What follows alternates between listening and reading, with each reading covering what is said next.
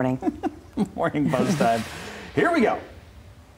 With the governor's announcement that outdoor activities and gatherings can return to normal at the start of July, the Allegan County Fair says we're back. The fair is going to be held. fair. Yeah, it is. Going to be held from September 10th through the 18th in September right there. 2020, of course, last year it was canceled for only the second time in the year in the 168 year history.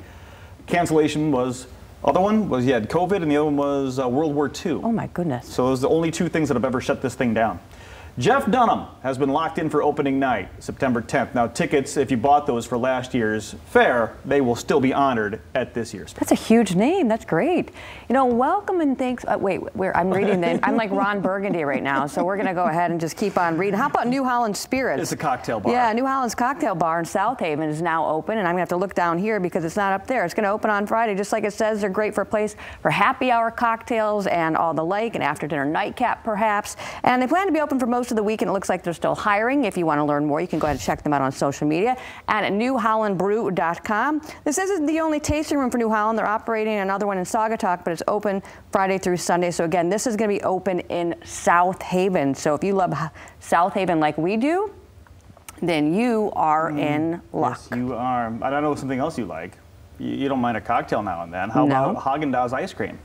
How about we put those two together? Haagen-Dazs is bringing happy hour to your freezer. The German ice cream maker is introducing mojito and pina colada flavored Ooh, ice yum. cream. Yeah, there's the lime mojito sorbet. It's infused with a touch of rum and a generous swirl of sweet mint coulis for after dinner.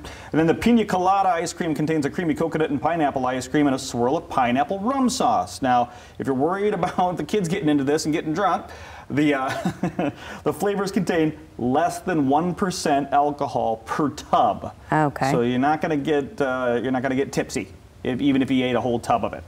The flavors contain one less than one percent. So these creamy cocktails are going to debut in the UK. No news on whether we're going to get to see these in the United States. Sorry.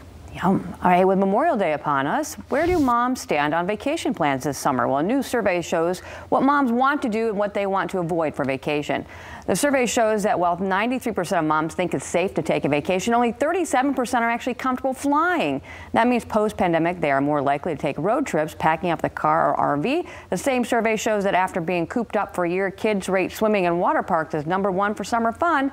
The survey conducted for Jellystone Park by Touchstone Research shows more moms are open to camping than staying in hotels than ever before. I don't think I'm that mom. I really enjoy a good hotel, and I just booked one actually for say. tonight. So there you go. Yeah, you and my wife, I won't think, are allergic to camping. I'm pretty sure. I mean, the RV life is good Yeah, for a little bit. I'm a glamper. you are definitely that. I'm not a temp. I'm I'm okay with that. Yeah. That's fine. Hotels, I'll admit it. Yeah, hotels. I love Maybe a swim up bar. hotel. That'd be Oh, nice, yeah. right?